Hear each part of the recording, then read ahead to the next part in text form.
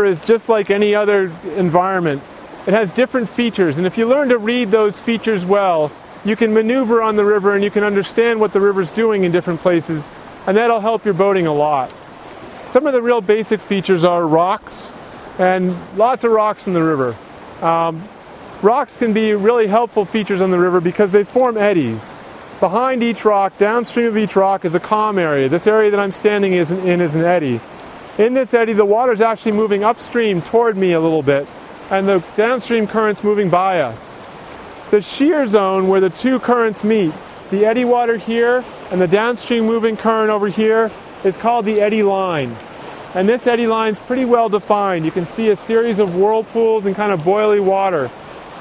The eddy line is going to be a place of instability for your boat. You don't want to spend a lot of time on an eddy line but it's a good indicator of where you want to be or where you don't want to be, and where you want to place your paddle on an eddy turn or a peel out. So an eddy line is, is a, a real important and a very visible feature on a rapid. Another feature that often you see on a rapid are waves. And this wave train is a pretty consistent wave train, uh, consists of you know five or six different waves, all formed by the water running over a small drop upstream. When you have a wave train like that, you can read the wave train and see how regular it is. A nice regular wave train is going to indicate that there's either a narrowing of the river or that there's just one drop upstream that's forming it.